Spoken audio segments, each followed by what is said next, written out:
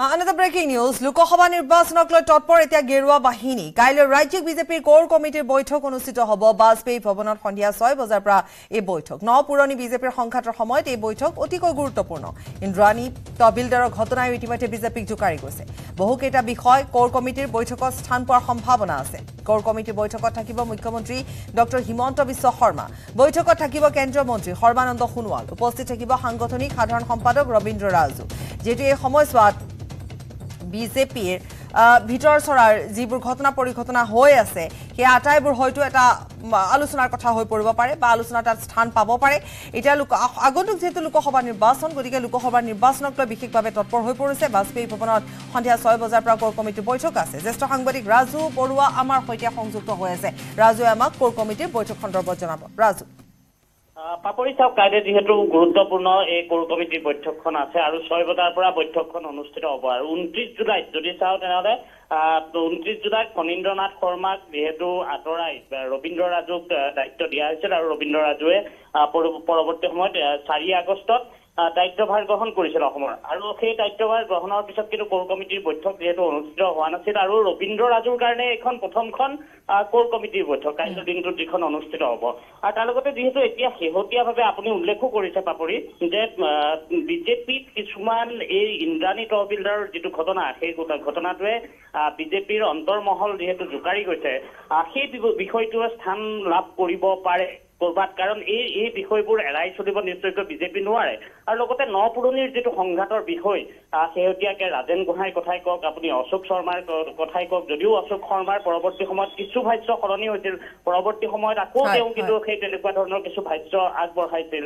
তাৰ লগতে আমি শেহতীয়াকে ৰমাকান্ত দেউৰীৰ ক্ষেত্ৰত দেখিছো বা সৌমেন্দ্ৰ ডেকাৰ নিচিনা ব্যক্তিয়ে যিহেতু জ্যেষ্ঠ নেতাৰ বিৰুদ্ধে প্ৰতিবাদী কাৰ্যসূচী পৰ্যন্ত গ্ৰহণ কৰিছিল। গতিকে এই বিষয়বোৰ এই বিষয়বোৰক এৰাই চলি তেওঁলোকে কিন্তু যিহেতু চৌব্বিছৰ যি নিৰ্বাচন আছে চৌব্বিছৰ নিৰ্বাচন তেওঁলোকে অৱতীৰ্ণ হ'ব নোৱাৰে। কাৰণ ন পুৰণিৰ সংঘাত তেওঁলোকে দূৰ কৰিব লাগিব দলত চলি থকা অন্তৰ্কণ্ডল তেওঁলোকে দূৰ কৰিব লাগিব।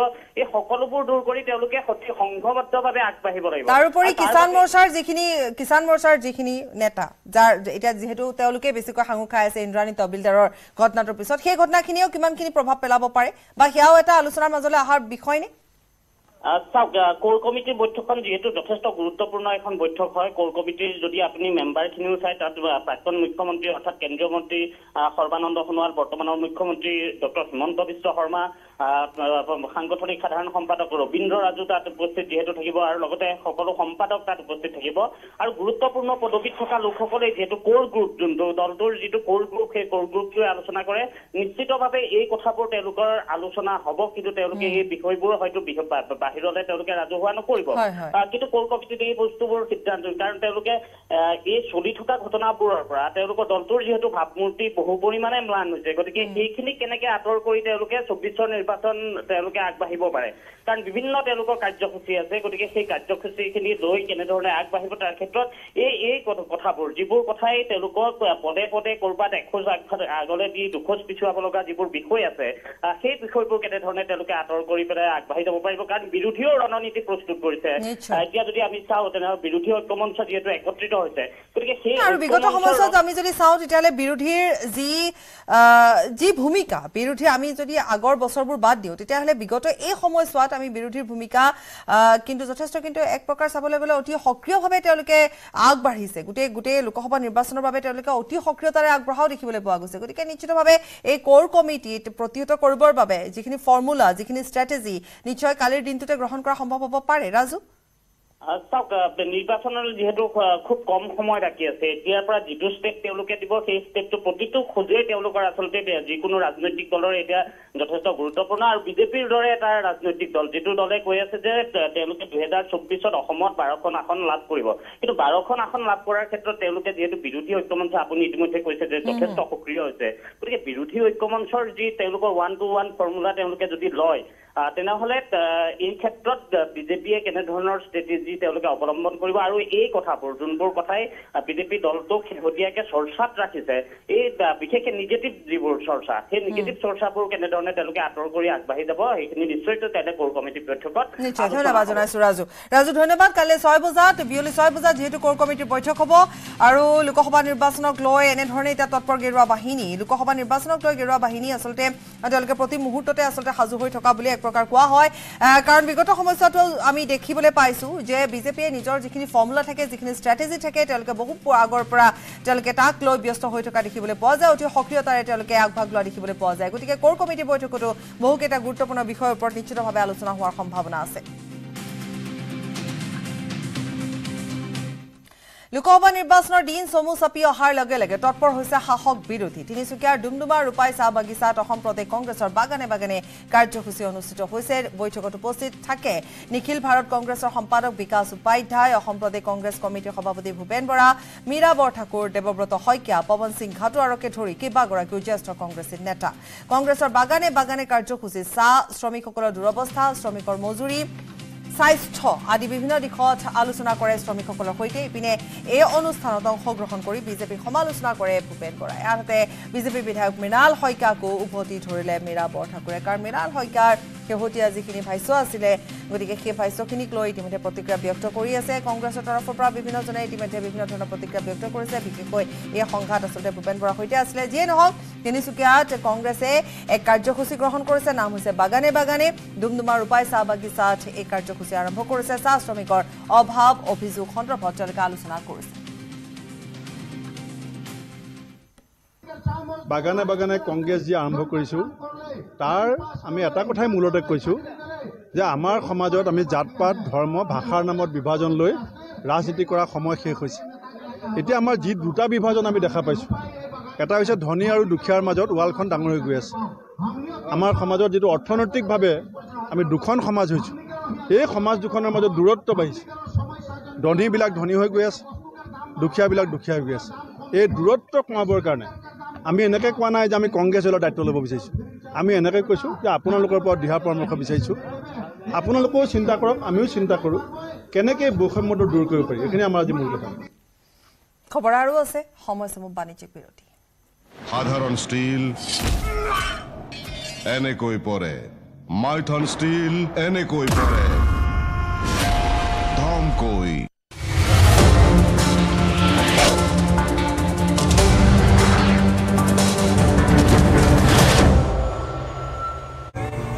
কৰাৰ উপৰিও বা ফটো মৰ্ফ কৰাৰ উপৰিও যেতিয়া এই ধৰণৰ এটা অশ্লীল এটা ৰূপ দিবলৈ চেষ্টা কৰা হয় একো একোখন ফটোক বা একো একোগৰাকী মানুহক তেতিয়া এয়া কিন্তু এটা যথেষ্ট গুৰুতৰ অপৰাধ। আৰু বিশেষকৈ এতিয়া এ আইৰ যুগ এতিয়া আৰ্টিফিচিয়েল ইণ্টেলিজেঞ্চৰ যুগ। আৰু এই আৰ্টিফিচিয়েল ইণ্টেলিজেঞ্চ ব্যৱহাৰ কৰি দুষ্ট চক্ৰই বিশেষকৈ ডিপ ফেক আদি যথেষ্ট ভুৱা ফেক ফটো কিছু তৈয়াৰ কৰিছে।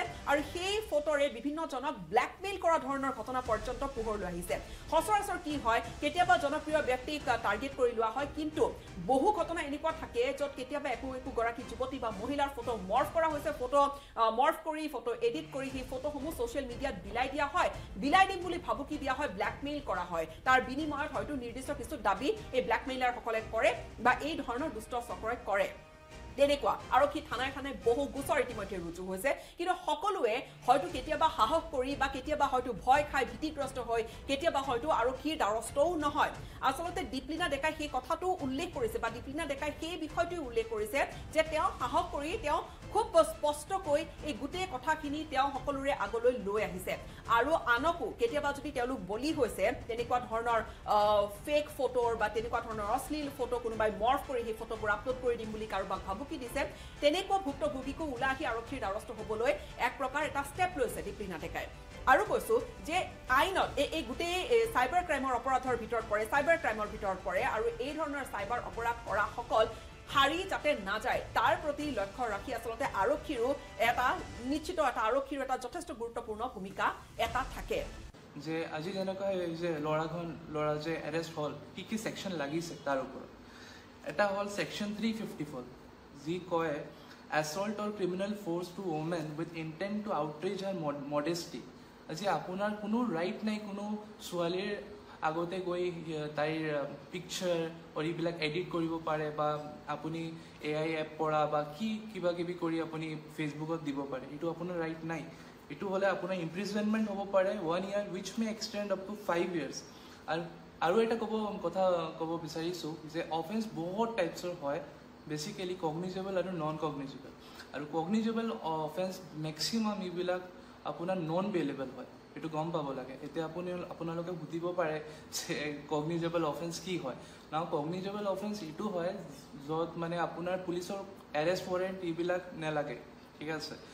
আপুনি প্ৰায় পাৰ্মিশ্যন কোৰ্টত নালাগে। যাৰ ডাইৰেক্ট আপোনাক এৰেষ্ট এৰেষ্ট কৰিব পাৰে। যিবিলাক আপোনাৰ এনেকুৱা অফেন্স আছে cognizable offence for example murder rape তাৰপিছত আপোনাৰ এই যে in intent to outrage someone's modesty এনেকুৱা টাইপৰ অফেন্স তো সেইটো আৰু আছে আপোনাৰ যিবিলাক ছেকশ্যন লগাইছে forgery for purpose of harming reputation এইটো মই সাৱধান কৰিব বিচাৰিছোঁ। আমাৰ যিমান ল'ৰা আছে যে ভাবে যে আমি কুল আমি স্মাৰ্ট আমি ছোৱালীৰ লাইফৰ লগত কিবা কৰিব পাৰোঁ সিহঁতক কাৰণে মই কৈ আছোঁ যে শুনা section sixty seven A information technology act এইটো কয় যদি তোমালোকে কেতিয়াও এইটো ভাবিও আছা যে আমি কিবা ছোৱালীতো কি কৰিব পাৰিব? তাৰ তাইক তাইক লৈ আমি পিকচাৰ্ছবিলাক এডিট কৰিব পাৰোঁ এইবিলাক কৰি ইলেক্ট্ৰনিক মডত বা কিবা এটা এইবিলাক কি কি ইমজি লগাই মিম বনাই এৰিব পাৰোঁ এইবিলাক যদি কৰা এইটো তোমাৰ ফাইভ ইয়েৰ্ছলৈকে তোমাৰ লগত ইমপ্ৰিজনমেণ্ট হ'ব পাৰে উইচ ইজ নন বেলেবল আৰু এইটো কগনিজেবল অফেন্স হয়। সেইকাৰণে মই সাৱধান কৰিছোঁ খালি বাৰ লগত বুলি নহয় কোনো ছোৱালীৰ লগত তোমালোকে এইবিলাক যদি মনত এইবিলাক আছে এইবিলাক আঁতৰি দিয়া। মানে আজি লাইভ ছেশ্যন কৰাৰ মোৰ এক- একমাত্ৰ এইটোৱে উদ্দেশ্য যে কেৱল ছোৱালী বুলিয়ে নহয় ল'ৰাবিলাকো কেতিয়াবা টাৰ্গেট হয় গতিকে। ল'ৰা বা যুৱক বা যুৱতী এনেকুৱা ধৰণৰ ক্ৰাইমৰ লগত জড়িত হ'লে ভয় খাবলগীয়া একোৱেই নাই। কাৰণ আজিকালি we have lot of laws বা বহুত এনেকুৱা আমাৰ আইন আছে যিসকলে আমাক ৰক্ষা কৰিবৰ কাৰণে আচলতে আৰু specially thanks to Assam police তেওঁলোকে ইমান বেছি কুইক ৰেছপন্স দিছে মোৰ এই কেছটোত তেওঁলোকলৈ ধন্যবাদ জ্ঞাপন কৰিছোঁ। গতিকে ভয় খাবলগীয়া একোৱেই নাই। আজি এই কেছটো কৰা হৈছে একমাত্ৰ on behalf of all those girls all the women যিসকল ভুক্তভোগী বা আগতে এনেকুৱা হৈ গৈছে বা তেওঁলোকে একো কৰিব পৰা নাছিলে ভয় খাইছিলে ভয় এটা থাকেই ন আমাৰ যিহেতু সমাজ ব্যৱস্থাটোৱে তেনেকুৱা হয়। তেনেকুৱা কোনো কথা নাই। মই তেওঁলোকৰ বাবে আজি ষ্টেণ্ড লৈছোঁ বা ভৱিষ্যতলৈ কেতিয়াবা এনেকুৱা কিবা ঘটনা ঘটিলে মই সদায় তেওঁলোকৰ লগত থাকিম। কিন্তু এতিয়া মূল প্ৰসংগটো হৈছে আৰ্টিফিচিয়েল ইণ্টেলিজেঞ্চ আৰ্টিফিচিয়েল আৰু দীপলিনা ডেকাই কৈছে যে আৰ্টিফিচিয়েল ইণ্টেলিজেঞ্চ ব্যৱহাৰ কৰি এই ফটোকেইখন তেওঁৰ মৰ্ফ কৰা হৈছে। আৰ্টিফিচিয়েল ইণ্টেলিজেঞ্চে আমাক বহু ধৰণে বহু ক্ষেত্ৰত আমাক সহায় কৰিছে। সেয়া সাধাৰণ ৰচনা এখনৰ পৰা আৰম্ভ কৰি ডাঙৰ ডাঙৰ অপাৰেশ্যনছলৈকে এই গোটেইখিনি আৰ্টিফিচিয়েল ইণ্টেলিজেঞ্চৰ দ্বাৰা আমি খুব আমাৰ কাম বহুখিনি আমি কমাই পেলাবলৈ সক্ষম হৈছোঁ বা আমাৰ কাম বহুখিনি সহজ হৈ পৰিছে। কিন্তু এই আৰ্টিফিচিয়েল ইণ্টেলিজেঞ্চ ব্যৱহাৰ কৰি এই দুষ্ট চক্ৰই যেতিয়া কাৰোবাৰ ফটো মৰ্ফ কৰিব কাৰোবাৰ তেনেকুৱা অশ্লীল ভিডিঅ' বনাবলৈ চেষ্টা কৰিব কাৰোবাক অপদস্থ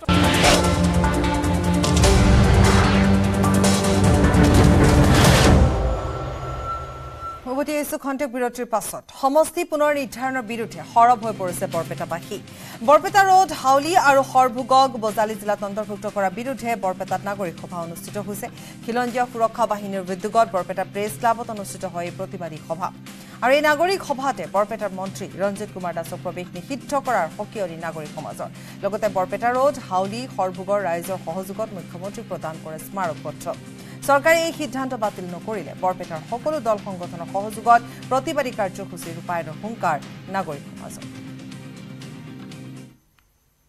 যিজন ৰঞ্জিত দাস ডাঙৰীয়া ঘৰ বৰপেটাত তেখেতে বৰপেটাখন খণ্ড বিখণ্ড কৰি পেলালে তেখেতে এদিন কৈছিল যে বৰপেটাত গেল- বোলে তেখেতে বাংলাদেশত সোমোৱা যেন লাগে। গতিকে তেনেকুৱা মন্ত্ৰীৰ বিৰুদ্ধে আজি মই এটা প্ৰস্তাৱ দিছোঁ বৰপেটা ৰাইজে তেখেতক বৰ্জন কৰক বৰপেটাত তেখেতক প্ৰৱেশ নিষিদ্ধ কৰিব লাগে। আৰু পৰৱৰ্তী পৰ্যায়ত আমি ছাত্ৰ সন্থা সচেতন নাগৰিক মঞ্চ আৰু খিলঞ্জীয়া সুৰক্ষা বাহিনীয়ে একলগ হৈ সৰভোগ হাউলি আৰু ভৱানীপুৰ বৰপেটাৰ সকলোৰে লগত আমি কথা পাতিম। ইতিমধ্যে আমি মত বিনিময় কৰিছোঁ। তেওঁলোকে কিন্তু বহুত দুখ প্ৰকাশ কৰিছে যে আমি বজালিত যাব নোৱাৰোঁ। তেওঁলোকে বৰপেটাত থকাৰ পক্ষপাতি। আমি সকলোৱে লগ লাগি এখন স্মাৰক পত্ৰ দিম। মুখ্যমন্ত্ৰী মহোদয়ক আমি আগবাঢ়িম। বৰপেটা জিলাৰ বৰপেটা ৰোড হওক হাউলি হওক বা সৰ্বভোগৰ হওক তাৰ বেছিভাগ মানুহ বিৰোধী আৰু তাৰ উমান আমি পাইছোঁ। ইতিমধ্যে ৰজাঘৰৰ লগতো আমি কথা পাতিছোঁ নাগৰিকৰ লগতো কথা পাতিছোঁ। গতিকে আমাৰ এটাই দাবী আজি হৈছে যে ভৱানীপুৰ সৰভোগ সমষ্টিটো বৰপেটা জিলাৰ লগত অংগসূত নোহোৱাকৈ থাকক আৰু আমি তেওঁলোকৰ লগত একেলগে বৰপেটা জিলাৰ কাম কৰিম বুলি আমি আগবাঢ়িম। আৰু মেট্ৰ' ৰেলত টোপনি যোৱাৰ বাবে মাৰপিট। নিউয়ৰ্কৰ মেট্ৰ' ৰেলত সংঘটিত হৈছে এই মাৰপিটৰ ঘটনা। ৰেলত যাত্ৰা কৰাৰ সময়তে এগৰাকী সহযাত্ৰীৰ কান্ধত টোপনি গৈছিল এগৰাকী যুৱক। ইয়াকে লৈ সূত্ৰপাত হৈছিল তৰ্কযুদ্ধ। তাৰ পিছতে অশ্লীল গালি গালাজ কৰাৰ লগতে টোপনি যোৱা লোকজনৰ ওপৰত চলালে বৰ্বৰ আক্ৰমণ। কেৱল ইমানেই নহয় আক্ৰমণকাৰী লোকজনক বাধা দিবলৈ যোৱা আন এজন যাত্ৰীকো প্ৰহাৰ কৰে। মেট্ৰ' ৰেলখনত থকা এগৰাকী যাত্ৰীৰ মোবাইল কেমেৰাত বন্দী হৈছে মাৰপিটৰ এই দৃশ্য। দুটা ফৈদৰ প্ৰচণ্ড মাৰপিটক লৈ আতংকিত হৈ স্থান ত্যাগ কৰে আন যাত্ৰীসকলে। ইপিনে এই ঘটনাৰ পিছতে ৰেলৰ পৰা নামি যায় ভুক্তভোগী দুই যুৱক। আনহাতে নিজৰ গন্তব্যস্থানলৈ যাত্ৰা কৰে আক্ৰমণ কৰা লোকজন।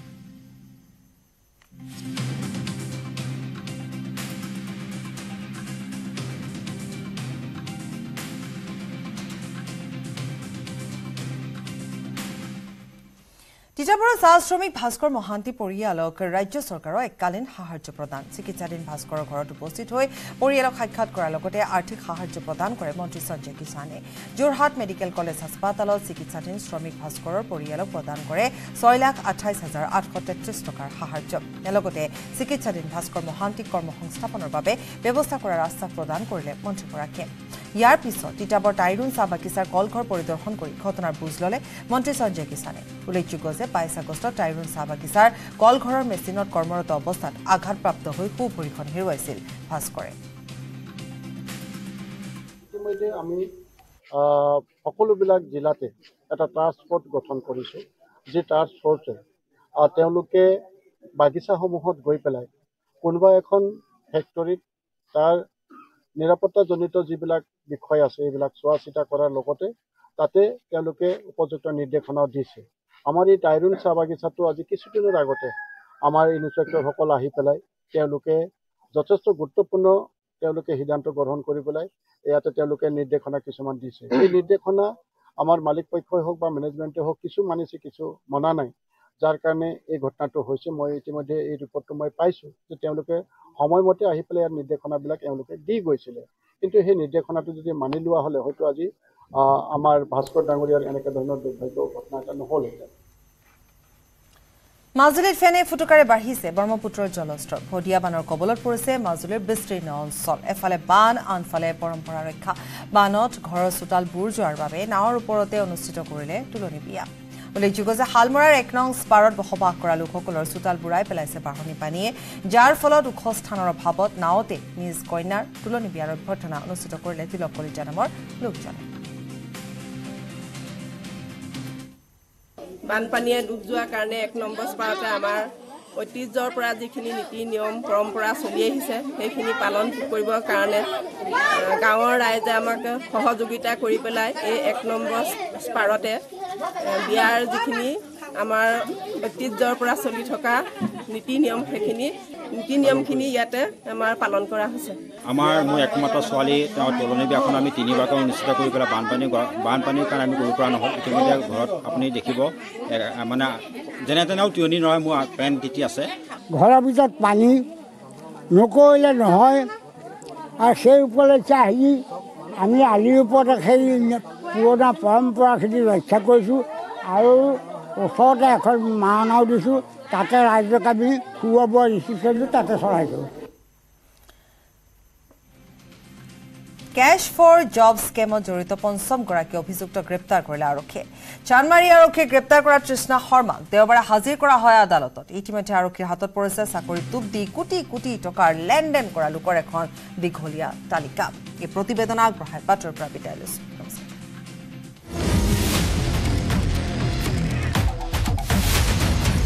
কেশ ফৰ জব স্কেম। আৰক্ষীৰ জালত পঞ্চম অভিযুক্ত। আদালতত ধৃত তৃষ্ণা শৰ্মা। ইন্দ্ৰাণী তহবিলদাৰৰ আত্মহত্যাই মুখা খুলি দিছে একাংশ বিজেপি নেতাৰ। অনুৰাগ ইন্দ্ৰাণীৰ নিবিড় মুহূৰ্তৰ গোপন ফটো চাবলৈ হেতা ওপৰা লগোৱা নেতাই চাকৰিৰ নামত কোটি কোটি টকাৰ লেনদেন কৰাৰ তথ্য পোহৰলৈ আহিছে চানমাৰী আৰক্ষীৰ তদন্তত এই তালিকাৰ শেহতীয়া নাম তৃষ্ণা শৰ্মা। বাজপেয়ী ভৱনৰ অন্দৰ মহললৈকে অবাধ আহ যাহ থকা তৃষ্ণা শৰ্মাক গ্ৰেপ্তাৰ কৰি মাৰাথান জেৰা চলাইছে চান্দমাৰী আৰক্ষীয়ে। অনুৰাগ চলিহাৰ গ্ৰেপ্তাৰৰ পাছতে এইগৰাকী তৃষ্ণা শৰ্মাই চান্দমাৰী থানাত দাখিল কৰিছিল এজাহাৰ। চাকৰি আৰু ৱাইন শ্বপৰ লাইচেন্সৰ নামত অনুৰাগে চল্লিছ লাখ টকা সৰকাই নিয়াৰ অভিযোগ আনিছিল তৃষ্ণাই পিছে পাৰভাৰ্ড আৰু ধনৰ খকুৱা বিজেপি নেতাৰ বিৰুদ্ধে এজাহাৰ দিও সাৰি নগল তৃষ্ণা শৰ্মা। তিনিদিন থানালৈ মাতি জেৰা চলোৱাৰ পাছত চান্দমাৰী থানাই গ্ৰেপ্তাৰ কৰি ইতিমধ্যে হাজিৰ কৰাইছে আদালতত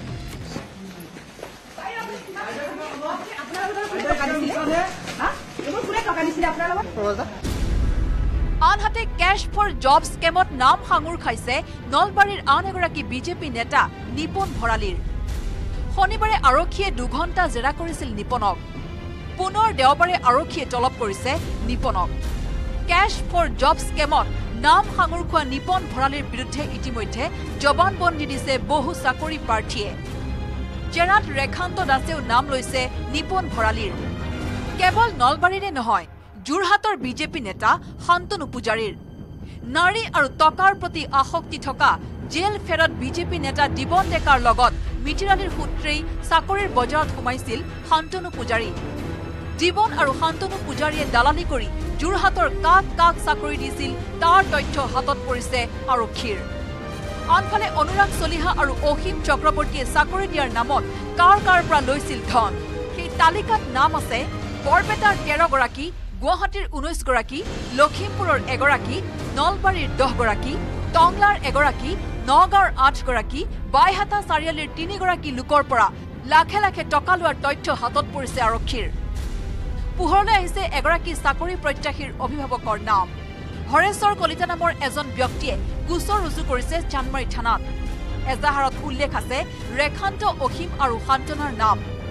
হৰেশ্বৰে প্ৰথমে পঞ্চাছ হাজাৰ টকা দিছিল অনুৰাগৰ হাতত বাকী টকা দিছিল শান্তনাৰ জৰিয়তে।